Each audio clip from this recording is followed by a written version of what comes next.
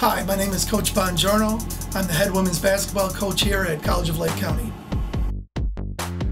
What makes it special is to give uh, young women an opportunity to uh, advance their careers and the support we get from the administration, both the athletic administration and the school administration.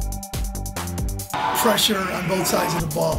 I think if you make people make decisions, both offensively and defensively, under duress, you'll be successful. Last year, we were hit by a lot of injuries, and in fact played the last 18 games of the season with only five women. And that showed how tough we were and how much we believed in each other. I thought that was the highlight of our year last year, more than any wins or losses. The first thing I look for is, is someone who wants to pursue their academic career.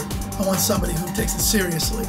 Uh, secondly, I want somebody who has enthusiasm for the game, who really wants to learn the game and play hard every night and learn as they go along. And third, I want somebody to be a leader. We have a full-time person who is in charge of our student athletes academics. And that, that's huge. There are scholarship opportunities to help you with your education through a basketball scholarship or an academic scholarship. And those are readily available and it's something that I think you should pursue.